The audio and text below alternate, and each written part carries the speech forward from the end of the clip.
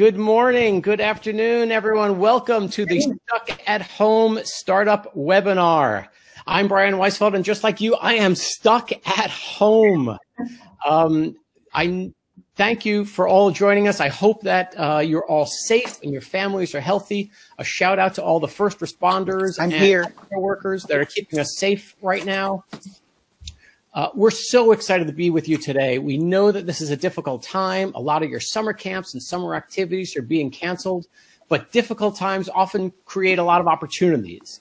And what Janine, Shaan, and I want to do today is we want to inspire you to start a business this summer. We're going to give you some great ideas for businesses. We'll give you some tips and tricks to do a better job of it. And then we're going to have a chat with Mo from Mo's Bows, who'll tell you all about what it's like to run your own business and what it's like to be on Shark Tank. So two housekeeping things. First of all, you'll see a chat button either down here or over here or somewhere. Uh, if you have any questions for Mo or any issues, type it in. We'll be monitoring and take a, take uh, uh, help you with that. Also, uh, don't worry if you miss something because we're going to be recording this. You'll get an email later in the day that has all the details. And if for some reason you're having any trouble with your screen, just refresh your browser and we should show up. Great. So let's get started. Let's introduce ourselves. I'm going to pass it over to Janine to uh, introduce us first. Hi guys, I'm Janine Glista. I'm a co-founder and executive producer of Biz Kids TV series. Uh, we're a national series that teaches kids how to make and manage money. We cover all aspects of young entrepreneurship and financial literacy. And uh, my partners are the folks that created Bill Nye the Science Guy. Um, a little bit more of a well-known series. Uh, we took their model of fun, fast-paced, humorous content and applied it to business. Uh, we launched on PBS initially, uh, but since then have syndicated to commercial television stations around the country. Uh, we have uh, 71 episodes. Uh, we've won two Emmy Awards. We were nominated for about 17 Emmy Awards. Um, and we have lots of free resources for teachers, parents, students um, on our website. And we also sell full episodes, bundles of entrepreneur stories. Uh, we've done two books and an online course for teens. On to Shaan. Hi, everyone. Uh, my name is Shaan Patel, and I am the founder of Prep Expert. We do SAT and ACT courses for uh, high school students. And um, any high school students joining us, or is it more middle school and elementary? Love to let you guys, you guys can go ahead and type in the chat so we know uh, what grade levels we're talking to and uh, where you guys are from. That would be great. Um, feel free to chat with us throughout this webinar. Uh, so I was back on, was on Shark Tank in 2016, uh, closed a deal with billionaire Mark Cuban, and he's been such a great investor, advocate, and partner for the company. Um, we even co-wrote this book together called Kids Startup, How You Can Be an Entrepreneur, to teach other kids how they can uh, be entrepreneurs as well. And so I'm excited to be here and share some uh, business tips with you all uh, over the next hour. Great. Thanks, Shaan. And uh, I'm Brian Weisfeld. I am the author of The Startup Squad, and I'm going to kick things off here. Now, uh, when I was a kid, I was always running businesses or working. Uh, and most of the things that I did were related to um, things that I already enjoyed doing. So I loved food as a kid. I loved candy. So I had a gummy bear business. Um, I loved sports. So I had a job working at a baseball card store. I loved to ski. So I worked at a, uh, a ski shop in high school.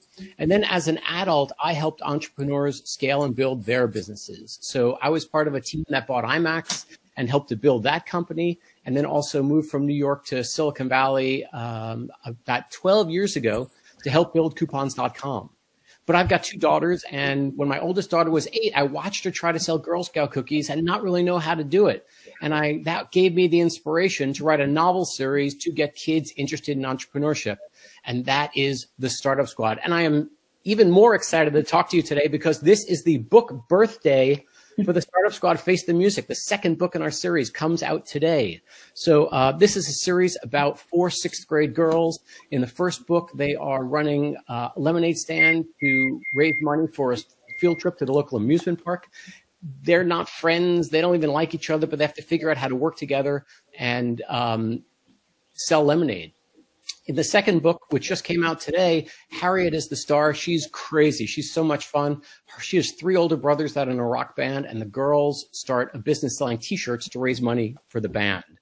Each of the books, in the back of the book, we actually take have some business lessons in there where we explain what was going on in the story and translate the business concept. So like, hey, remember when the girls were making a big sign for their lemonade stand? That's actually called marketing. And then we give you some marketing tips about how to run your business.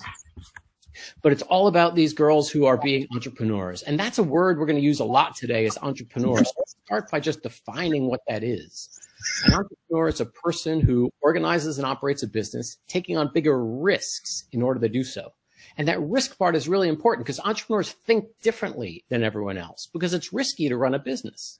Uh, you know, businesses, some businesses work, some businesses don't, but entrepreneurs are comfortable taking that risk and they're comfortable knowing that um, even if they fail, they're going to learn something and then the next business is going to be more successful. And so what we're going to do today is we're going to talk a lot about how entrepreneurs think and that entrepreneurial mindset. And we're going to tell you how you can become an entrepreneur in three steps. All right. Step one, choose a business. Well, of course, if you're going to run a business, you need a business. And remember when I said when I was a kid, a lot of the things that I did were related to things that I already enjoyed doing. Well, that's the same thing. Think of businesses that you're, that you, things that you like to do and how you could turn that into a business. So for example, if you like to cook or you like to bake, you can start businesses uh, making cookies, making making brownies, selling lemonade. You can review other people's recipes. You can review restaurants. There's a lot of different things you can do if you like to cook or bake. I'm going to tell you the story of Corey. Corey um, went, got tired of taking the bus to school every day. And so he wanted to help his family raise money for a car. So he started selling lemonade. And then when it got cold out, he lives in New Jersey, he started selling hot chocolate. And then he started selling cookies. And it turns out the cookies were really good. So he has a business called Mr. Corey's Cookies. And you can go online and buy his cookies and he'll ship them to you anywhere in the United States. Now, right now, with the current stay at home orders and the coronavirus, it's not the best time to be starting a cookie business or selling lemonade. But what you can do is start to build your client list and build your reputation as a cookie expert.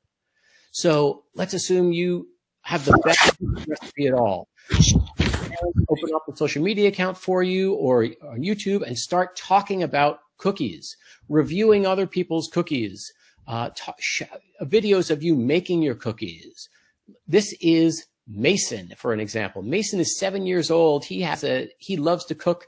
He has an Instagram account and YouTube channel where he makes recipes and reviews other people's recipes. And he's already got 3,000 viewers or 3,000 followers on Instagram. And some of his videos have a thousand views. So if you start, let's just, if you start talking about your cookies, you'll get a lot of followers and interest. And then when you're ready to sell cookies, you already have a customer base and you've already established yourself as a cookie expert. If you like arts and crafts, there's a lot of businesses. You can make slime, you can make art and sell the art, which you can do digitally um, in a virtual world. You can make jewelry. There's a lot of different businesses.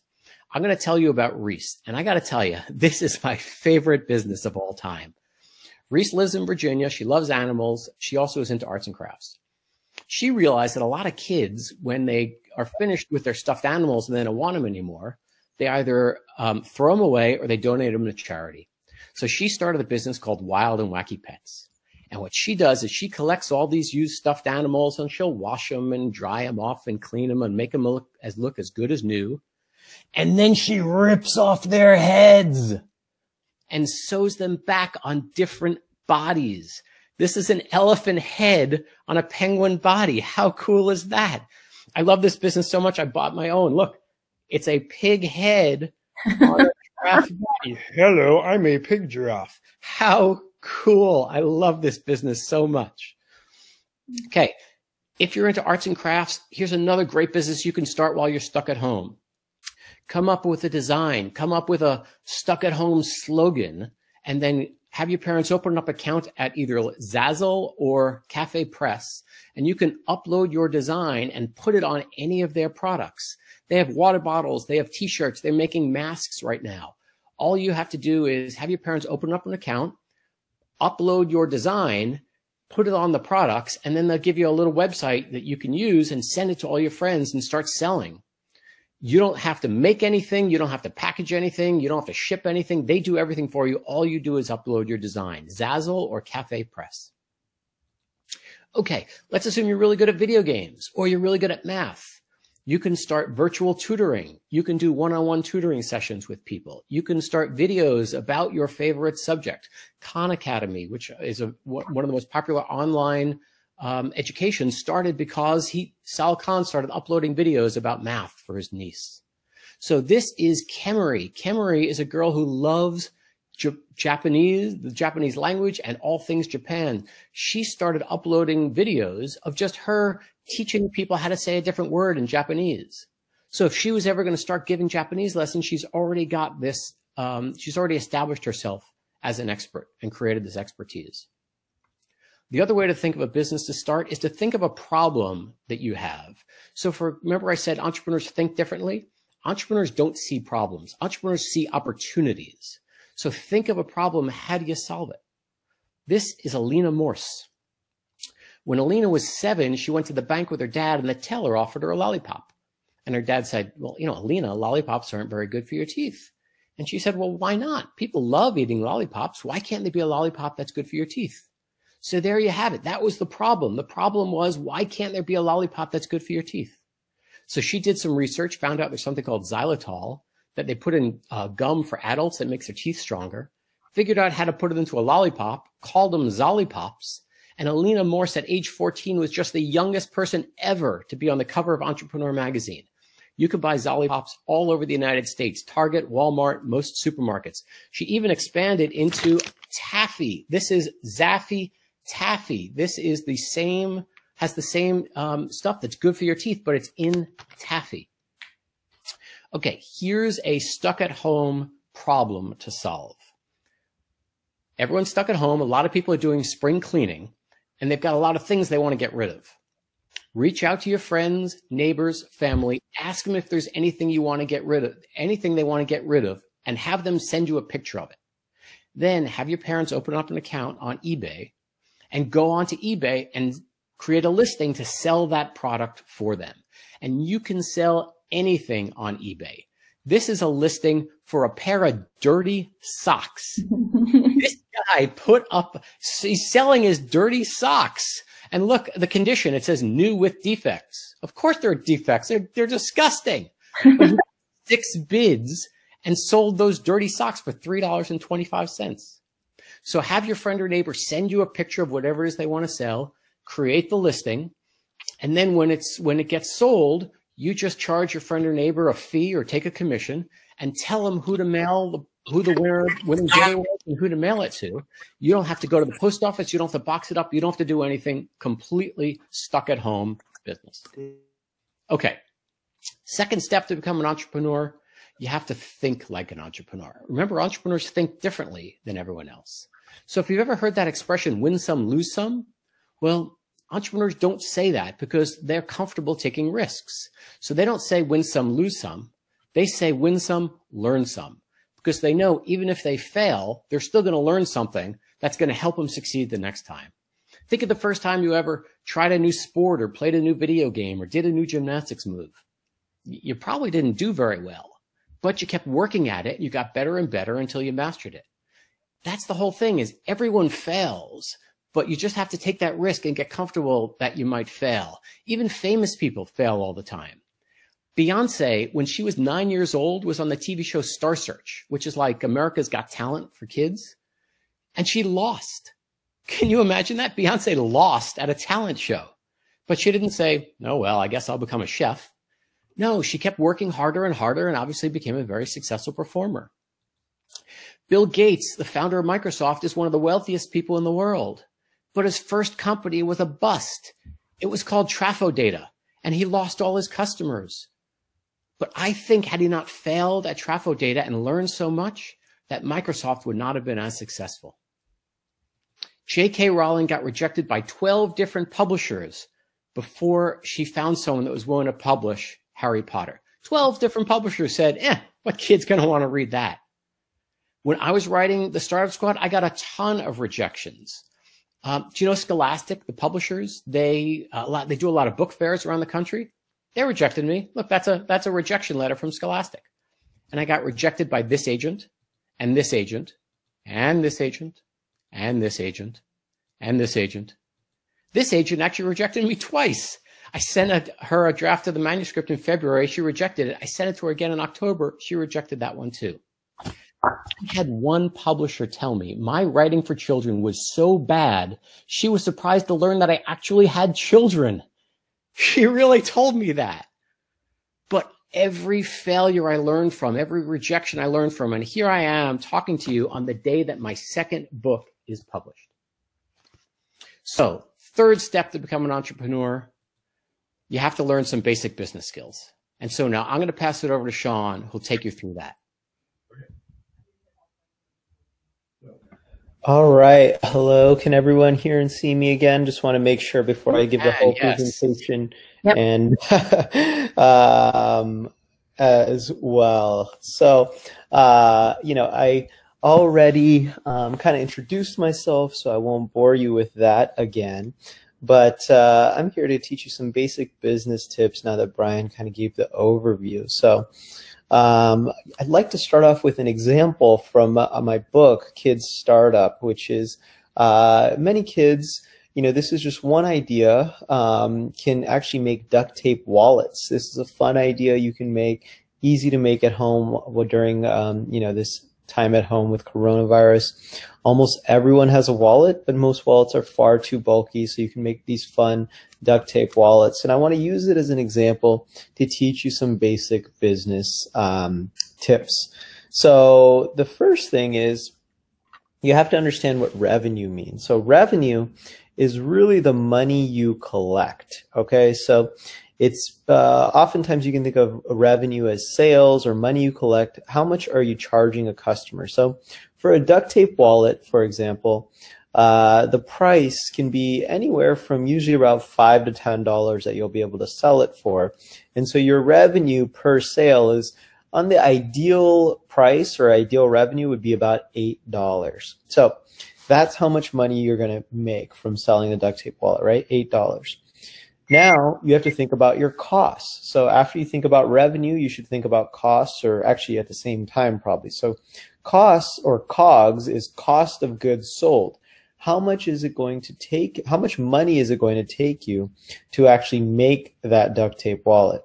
Well, you probably have um, ruler and scissors already, so you don't need to um, factor that into the costs of making the each wallet but you do need to buy duct tape. And so it's probably about 50 cents worth of duct tape that would be required in order to make a wallet. So that's your cost.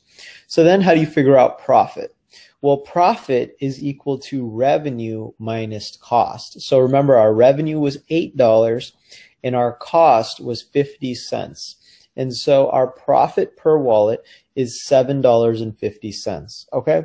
So always when you're coming up with any business model, this is the equation you want to remember, which is profit is equal to revenue minus cost or cost of goods sold, right? And so um, that's just one simple example of how to do it.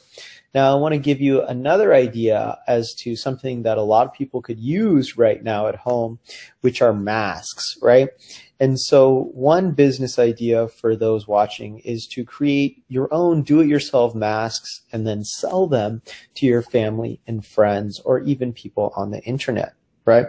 And so uh, you want to think about three questions. What is your revenue? What is the cost? And what is the profit if you decide to make this business at home, right? And so to answer the first question, what is the revenue? You want to ask yourself, how much can you sell masks for? Well, I did a quick on Etsy and I found that masks were selling for about $10 a piece, right? And so you might want to decide that your sale price or your revenue price is going to be $10. So that's your revenue on the mask, okay? Then how much do you buy the cloth for? Well, I did an eBay search and I found that you can buy about six masks worth of cloth for $20. So what's your cost to produce one mask? It's $20 divided by six. So $3.33 per mask. That's the cost. So if I do the profit equation, it's profit is equal to revenue minus cost, $10 minus $3.33, right? And so our profit per mask would be $6.60, 66 cents per mask. And so that would be the profit that you could make if you created masks and it costs you $3 to make those masks. But you could make even more profit, right? And how do you make more profit? Maybe you already have cloth laying around the house. Maybe your mom or dad can help you get cloth for cheaper, right? And so um, if you can get cloth for even cheaper, you can maximize your profits. And that's one way that a lot of businesses are able to increase profits is by reducing their costs, right? And so uh, before I end my present, my part of the presentation, I do want to teach you guys a little bit about, you know, what is the number one predictor of success for entrepreneurs? And the answer is already there on the screen for you, but it's not smarts. It's not emotional smarts. It is self-control, but and it's not creativity. So the most important predictor to decide whether you're going to become a successful entrepreneur or not is whether you have self-control. Self-control is the most universal and accurate predictor of success. If you want to be successful, you need to be able to manage emotions and work hard. And all of this requires a lot of self-control.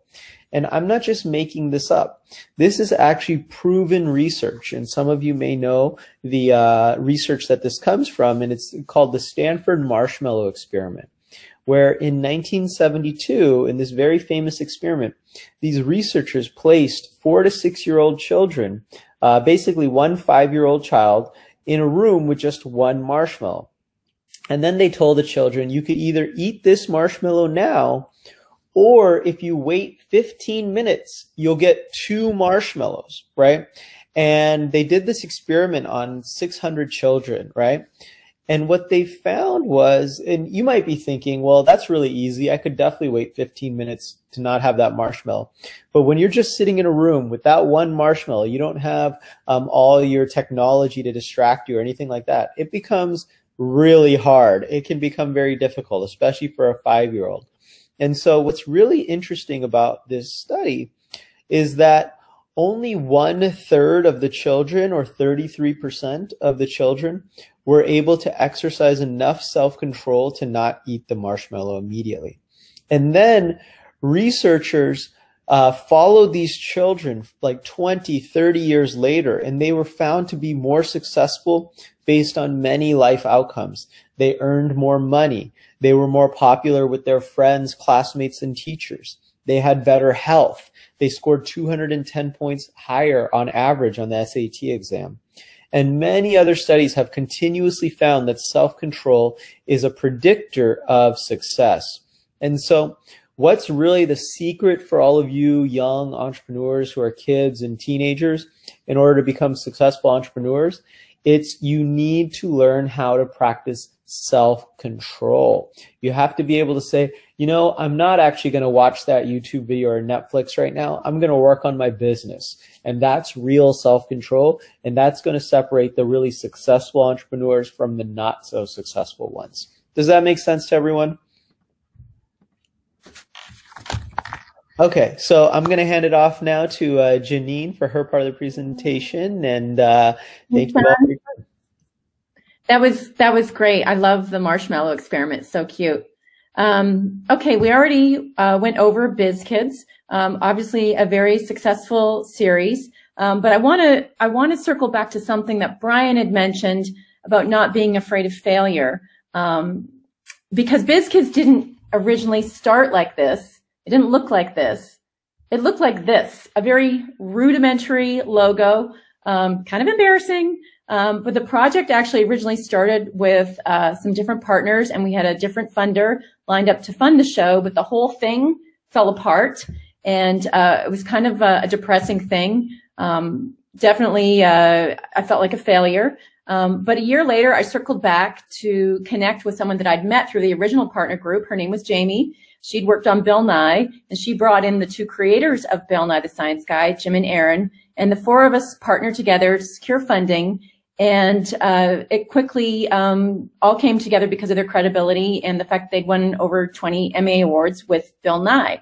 Uh, but the point is, um, you have to take the first step because that's what the that's what the logo originally started as, and then we got to um, a, an opportunity to win two Emmy Awards, and then that led to probably one of the the highlights of my career, which was meeting Oscar the Grouch. But you know, you don't go from this rudimentary logo to meeting Oscar the Grouch. Uh, it starts with taking that first step. And the one thing I want to encourage kids is that they just don't. You guys don't have any idea of what what the opportunities are going to be like, like what they're going to, what's going to come your way. So the important thing is just to take that first step and, um, you just, just have to have faith in the process. Okay. So going back to the part of my presentation, um, that deals with marketing and sales, I've seen a couple of questions come in on how to market, how to, how to sell your product. Um, marketing is the process of getting potential customers interested, whereas sales is sealing the deal. So marketing, marketing is more the process and sales is more of a transaction. Um, and the important thing to know about marketing and sales is that you have to have a little bit of a marketing strategy to, to lead to sales. And we're going to walk you through uh, how to develop a, a basic marketing strategy. Uh, but before I do that, the one thing that you need to figure out before you start your marketing is who is your target customer. Um, in other words, who's most likely to buy your product or your service. And why do you need to figure this out? Well, because if you know who your target customer is, and if you know what they want, if you know what they need, you can then refine your marketing strategy to attract customers, which leads to more sales. Um, so for example, say you're selling a book that teaches kids how to start their own business. One of your target customers is probably grandparents uh, because they might want to buy the book for their grandkids. Um, say you make uh, t-shirts for babies with really cool slogans. Your target customer is going to be moms with new babies. Um, maybe you sell jewelry and you have discovered that you, it's a real hit with punk rockers, um, maybe that live in London. So punk rockers that live in London is going to be your target customer. Um, maybe it's more um, like this guy here. His name's Adrian. He appeared on BizKids TV series uh, he had um, he had a problem trying to carry his basketball to the court when he was riding his bike. So he came up with a product called AllNet Sack uh, that he could sling over his shoulder that could easily carry his basketball. Uh, so for him, his target customer um, are kids that are playing basketball, uh, probably ones that don't drive. Um, so that's the first step is to figure out your target customer. Um, then when you have your target customer in mind, then you can come up with a basic marketing strategy. And uh, every marketing strategy uh, starts with making decisions in these four areas. Uh, and they all happen to start with P. So it's product, price, place, and promotion. And together, combined, that becomes your marketing mix. And essentially what you're doing is you're making decisions in these four areas so that you can kind of attract your target customer. Um, the first P is product, but this also includes uh, service uh, if you're selling a service. And I'm going to use the uh, I'm going to use the example of Starbucks. So everyone knows Starbucks; they sell food and drinks. Um, but one of the things um, that they're selling, um, well, they don't just sell food and drinks; they sell an entire kind of package of feelings around the food and drinks. So maybe people feel like it's uh, a treat for them. Maybe it's convenience. Maybe it's uh, free Wi-Fi or a place to connect. Um, when you think of making decisions in this category of product, you think of like the whole enchilada, the whole thing that you're selling. Um, maybe it's the packaging, the instructions, a money back guarantee. Um, and so one of the things you need to think about when you're making decisions in this category of product uh, is is what can you do to make your product or your service a little bit unique.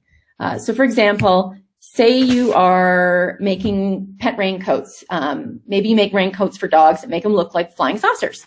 How will you make your raincoats stand out? How will you make them unique? Maybe you include a couple of dog poop bags or a couple little treats. Um, customers really love it when you have a little bit of extra attention to detail uh, that will make your product stand out and unique. Uh, the next P is price.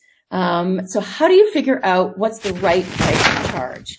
Um, obviously, the first step, like Shaan said, is to figure out if you can make a profit. You've got to cover your costs. Um, but then do you go high end and uh, position yourself as a luxury item or you go low end bargain basement raincoats um, or do you even go somewhere in the middle of the road? What's, what's a good guide? Well, again, you go back to that target customer and match your pricing to uh, what you think your target customer um, might be willing to buy, to spend. So using the example of raincoats for chihuahuas, say you've done some research and you figure out that the majority of people who own chihuahuas are rich socialites, rich female socialites. This is just a hypothetical example. Um, but based on that, you decide to position your product as a luxury item. So it costs $25 to make. Maybe you can get away with charging $50, $50 so that your profit is $25. Um, that's just one pricing strategy. There's a lot of pricing strategies. Um, I would suggest that you research them online. Uh, maybe check out what the competition is charging, like Shaan explained. Um, another option for pricing is some entrepreneurs build in covering the cost of being able to give back. Uh, so for those of you who are familiar with Tom's Shoes, they have a buy one, give one model. Uh, Warby Parker glasses um, also do that. Some people also build in 10% to be able to give back to like animal shelter, something that ties in with their product or service. So that's also something to consider when you're coming up with price. The next P is place. So in other words, where will customers find you? Are you going to have a pop-up shop uh, in the mall? Are you going to knock um, door to door in your neighborhood? Are you going to sell at a farmer's market or a craft fair? Obviously, all of those options aren't possible right now. Um, and those will be possible once we're, we're done social distancing. Um, so the best options for kids right now is obviously uh, to sell online. Uh, we mentioned eBay, Craigslist, um, Etsy is a great website if you're making handmade items. Um, it's pretty easy to accept electronic payment selling online these days, um, either through uh, those three platforms or um, PayPal, Venmo, an electronic transfer from your customer's bank to your cell phone or email is also doable. The tricky thing right now with social distancing is being able to showcase your product, but maybe you can drop off your product outside a neighbor's door. You maybe you could do an exchange standing six feet apart. Uh, we recommend checking with your parents or your caregivers to see what's doable in your area. Um, okay, the last P is promotion. So how are you going to get the word out about your product or service? And it could be something as simple as posting flyers um, to uh, pulling a pulling a banner behind an airplane and everything in between. Um, that's again where it's really helpful to know who your target customer is because if you can figure out where they like to hang out, you're most likely to be able to promote to them. So, you know, when there's no social distancing, obviously we're selling raincoats for chihuahuas, maybe going to the dog park or uh, doing a flyer at the pet store might be a great option. But right now we're more limited. So we would encourage you to reach out on um, your social media channels. Um, and lots of kids know how to do that already. And if you don't, you can easily figure out how to learn that online. So that's a little bit about marketing, the four P's of marketing, product, price, place, and promotion. Um, onto sales. Sales is a game of numbers. Bottom line, uh, you have to get through many, many no's before you get to that final yes. And as kids, you guys have nothing to lose. Like as adults, you know, we've got a mortgage. Some of them, some of some adults are changing diapers or have to make car payments. So it's a little bit more risky. But as, as kids, as teens, you don't have a lot to lose uh, by getting out there and trying to promote uh, or sell your product or service.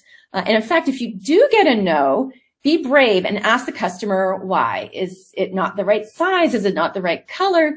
Do they not have a need for it? Is it too expensive? You can get a lot of feedback to improve your product or service just by being brave enough to ask why they don't want your product or service. Maybe by having a conversation with your customer, you'll figure out, or actually they'll figure out that they really do want your, your product or your service. So really it comes down to maybe you haven't pitched your product or your service uh, appropriately. So your pitch needs work. So digging a little bit deeper into that no actually gives you some really great information to improve your product or service. And in fact, uh, when BizKids first approached um, the publisher, uh, that we we pitched uh, Workman Press to do our book, uh, How to Turn $100 into a Million. The very first response we got back from them was a solid no.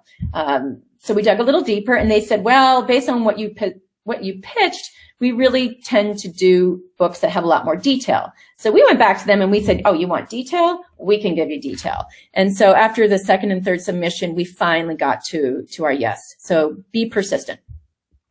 Um, three ways to start sales uh, that we would recommend is number one, start with family and friends. Um, people that love and care about you that can really give you some good honest feedback so you can make changes and improve your your product or service um, build some sales.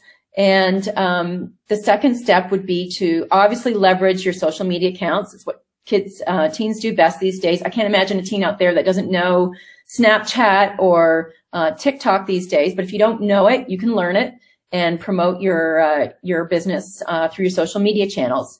Um, the third thing is something that kids really probably don't think about, um, and that's getting press uh, getting some media attention. Um, we have countless kids that have appeared on our TV series because we found them online. Uh, maybe they started in uh, uh, as a local article in a local newspaper or um, local radio station, went to a local event, got a little bit of press, that led to more press, and they built from there. And here's the thing, a little secret I want to let the teens in on is that America loves entrepreneurs, young entrepreneurs. When kids take an initiative to start a business, people are so happy to shine a spotlight on it. I mean, when adults start a business, it's kind of a non-news day, but when kids start a business, people love it and, and the media will shine a spotlight on it. Um, we've seen it countless times. And like I said, we found all of our stories um, online, and sometimes in person, but mostly online. Um, and a little bit of media attention leads to more media attention. So uh, we encourage you to reach out to your local media once you have built a little bit of a following. So you might say, okay, Janine, but uh, I'm still really nervous. I don't know what to say when I find my target customer, and I'm, I'm not quite sure what to say when, when I get that chance to actually seal the deal. So here's three steps three things that you can think about in terms of how to talk about what it is you're selling. This is, this could be your pitch. You tell them what you're selling and try to include a need that you're addressing for your target customer. Um, tell them why it's the best and include a feature and then ask if you can tell them a little bit more about your business. Um, your, your sales pitch may change from here, but this is like a great place to start. So this is what, this is what it might sound like. So say you're selling cookies. You might say, okay, Mr. Rogers, I'm selling cookies that are the perfect afternoon treat. They're the best because I make them with high quality organic ingredients. Can I tell you a little bit more about my cookie business? Um, okay, uh, Jane Doe, I'm selling lip gloss and uh, it's lip gloss that stays on for hours. And my lip gloss is the best because it comes in five popular colors.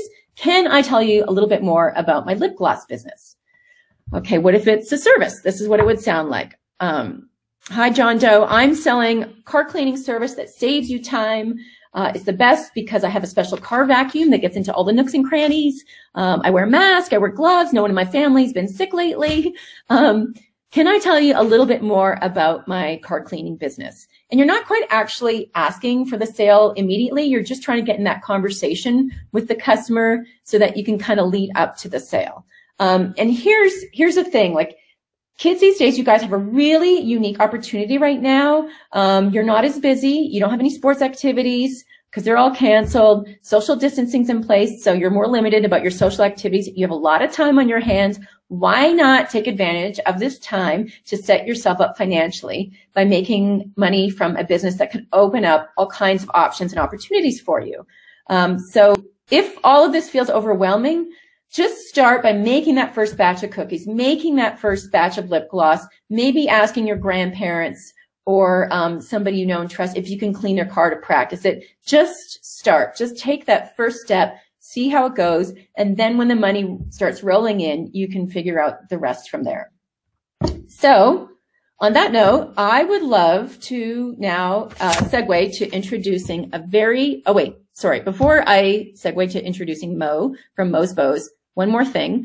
Um, we want to encourage you guys to stay safe uh, during COVID-19. That's the most important thing. Like it's great starting a business, but please keep in mind social distancing, washing your hands, finding other ways to deliver products safely. And if you do have an idea for a service-based business, think about how to offer it carefully where there's no contact.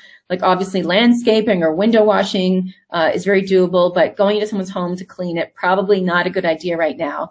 Uh, so check with what's going on in your, your local area. Um, also, if you don't feel comfortable really going out right now during social distancing, that's fine. You can still build your foundation. You can still get the word out. Um, it's a perfect time to create your offering. And then when things open up again, then you're not starting from scratch. So now on that note, I would love to introduce Moziah Bridges from Mo's Bows. Is Mo able to connect? Can we see him? Here he comes.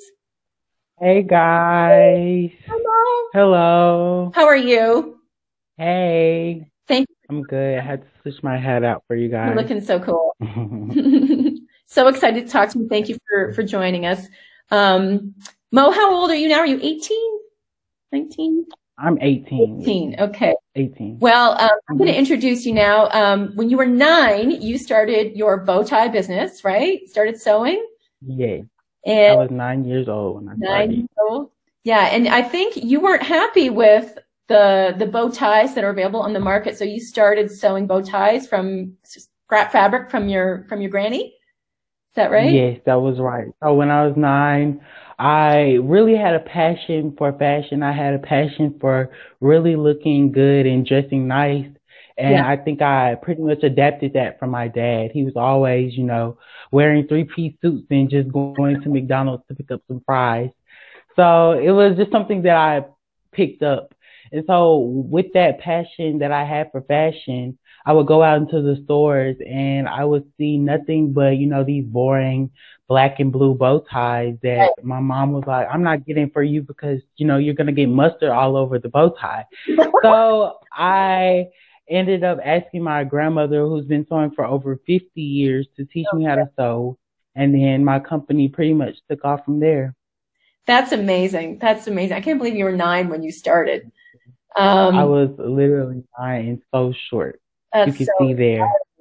yeah, so inspiring. And so your business took off. Um, you ended up on Shark Tank and with your mom. I did end up on Shark Tank.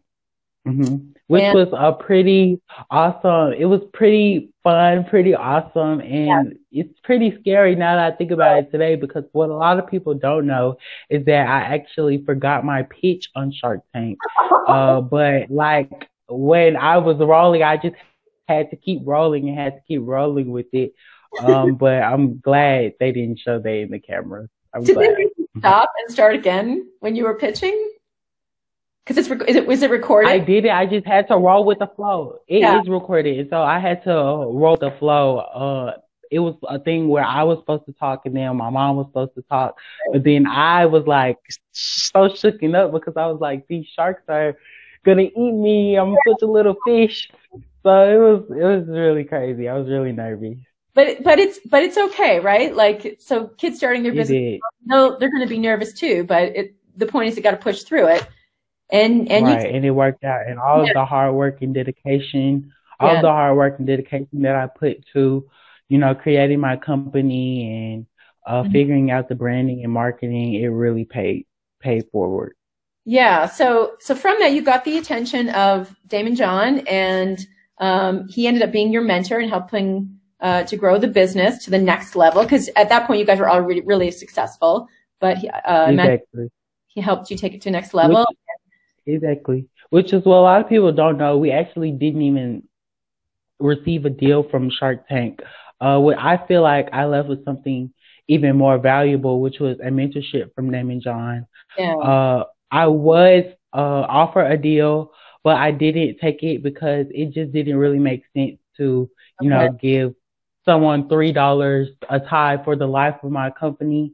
Right. So I decided to uh, go with Daymond John. He gave me lots of resources that I would still have if I actually had a deal. So it was Smart. pretty great. I got to be at Neiman Marcus, Bloomingdale's, Cole Haan. Um, it's been a very uh, lucrative partnership with Shark Tank and Daymond John, actually. Yeah. And there's another partnership that you were able to, to, to acquire, and that is creating Yeah. a lot of bow ties for the NBA. Association, right? Yes. Yeah. Yes, and that was cool too because it, it proved that I don't have to, you know, play basketball to actually have a contract with the NBA. so it's it's pretty cool. You know, you don't always have to settle for the things that you would normally think of, like a like basketball player, singer. You know, it's yeah. important to create other options like being an entrepreneur and creating your own company. Yeah, and you've been really successful. And we were talking about press, and you've been a ton of press. You know, I was looking for pictures to include in this presentation, and my gosh, I had so many options because I could see how much how much press coverage you'd had, and of course, you've been on BizKids TV yeah. series. And your story, by the way, is one of my top five favorites on BizKids. Thank you. The of Thank your you. Your story came in, and you did like that sideways dab and kind of ran out camera left. I, I yes. stop laughing. It was so hilarious. Mm.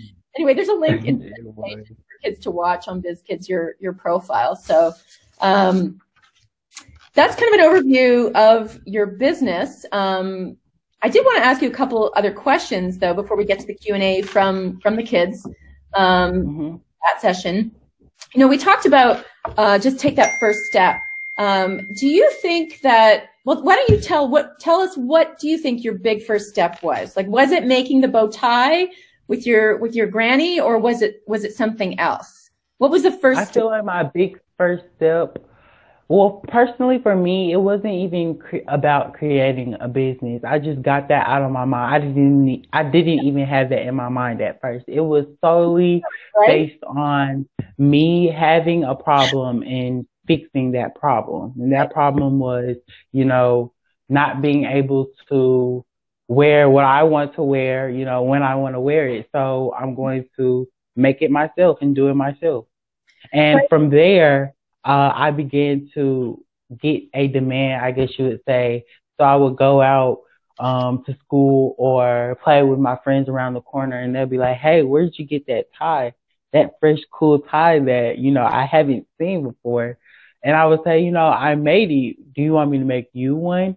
And at first, it kind of started off as a thing where I'm not gonna lie, I did accept hot Cheetos as payment at first. Hot Cheetos. I did, I did, but I had to, you know, raise the price, raise the cost, right. um, more than bag of chips, uh, right. and start charge and start charging for bow ties, of course.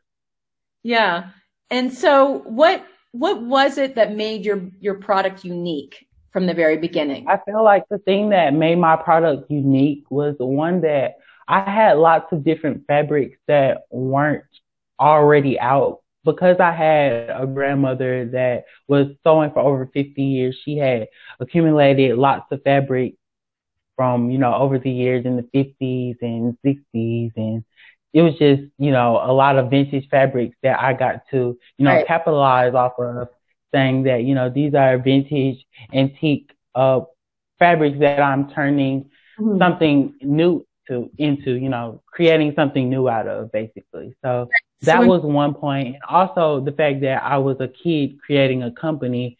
Right. Lots of people were like, "Oh my God, I can't believe it!" It was it was just such a wow, big wow factor.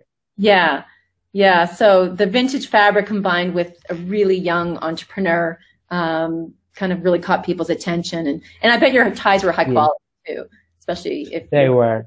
You mm-hmm. so, and she was ex- expert seamstress. So um, mm-hmm. tell tell the kids listening, how did you handle no? Like, because there's, I think, a lot of fear wrapped up in hearing no. And I'm sure at the beginning, maybe you heard no a lot. Like, how, how did you, yes of how you there is a lot of there is a lot of rejection when creating a company. Um, I remember one time uh, a lady was trying to get a bow tie and she was like, you know, I, I want this bow tie and she asked for the price and I told her the price and then she threw it back on the table and was like, you know, I could get that at Walmart. And so that pretty much, it really, it pretty much like took me back. I was like, well, I went to my mom. I was like, well, mom, she said she could get it at Walmart. Like, what did I do wrong? But it really showed me that it's not me. You know, you have to really think about that you can't provide to everyone. You can't cater to everyone. But now that I've, you know, I've sat through this whole uh, Q and A, and I've listened to you talk. I feel like you know asking. I should have went back and asked, you know, why, so I could, you know, maybe cater to her more or figure out another problem that I wasn't, you know, right fixing. Or maybe she just wasn't your target customer. Like maybe your target exactly. customers, people that really appreciate handmade, high quality item that you can't get at Walmart, right? That's a little bit more unique. So exactly. Um, yeah, o- overcoming that fear of no is is actually a great thing for young entrepreneurs to do. Um, tell us something kind of um, Tell us a little uh, secret about being on Shark Tank. Like, what was it like? Some kind of behind the scenes working. Like, what what was like a, an aha moment or something that maybe the kids don't know about? Well, something that the kids probably don't know. Well, I did cry after the show. Well, I told y'all that I I didn't get the deal. I first I didn't get the deal, and so in my head I was thinking, you know, I already messed up, and I didn't get the deal because I was so young at the time. I was like, you know, oh my gosh, what is really happening? I'm just so hyped off of Rice Krispie treats. I don't know what to do. Yeah. But uh, I started crying, and it was just, you know, really sad at the end. But then when I got back home and I started to grow up and really live through the company, it all, you know, really made sense, and it was all meant to happen. Yeah. Oh, that's that's cute. Thank you. Thank you for sharing that. Um, hey Mo, we've got um, uh, a ton of questions on the chat, but I think we only have time for one. Uh, and let's let's generalize these questions yeah. to. So right now, people are stuck at home. What? Let's assume you were starting your bow tie business today. How would you do it if you were stuck at home, as we all are today? Great question. Well, if I was stuck at home and I wanted to start a bow tie business, I would personally, if I had, you know, a grandfather or a dad that had some old ties that they had, there's a way that you could reconstruct a necktie and turn it into a bow tie that you could not only, you know, resell but wear for yourself. Great. Great. Well, I think that do- about does it in terms of the time that we have today. But um, I want to thank everyone for joining us. This was a fantastic chat. Uh, as I said, you are going to get an email this afternoon with uh, a link to watch rewatch the webinar in case you want to share it with anyone or you missed anything. And uh, we've got all of our contact information on our websites to learn more about our products and our books out there listed. Thank you, Mo, for joining us. Can Mo talk about his book Thank too? you, guys. Yeah, sure. Sorry. Yes, I oh, have go ahead. Book. You can get a chance to talk about his book this too. This is a young person's guide to a startup success. It's a really good book to anyone, not only young people, to anyone who have um, a dream that they want to pursue, um, who really just want to go for it. And I want to share with you guys my four points my four main points in the book, and they are be to believe in yourself, mm-hmm. take the opportunity to give back, to work hard, and study hard. And not only that, but to seek support from your friends and family. And with those four points, you could tackle and dive through anything. That's great advice. That's that's really good advice. And we, have had, there's a lot of questions that have come in too on the Q and A. We just haven't had a chance to get to, but we could probably message people privately um, Thank you so much, Mo. Thank you, Janine and Shaan. Thank, Thank you, you all guys. for listening. Please, Mo. everyone, stay safe, stay healthy, and we hope we inspired you to create your own stuck at home startup today. Thank you. Thanks, guys.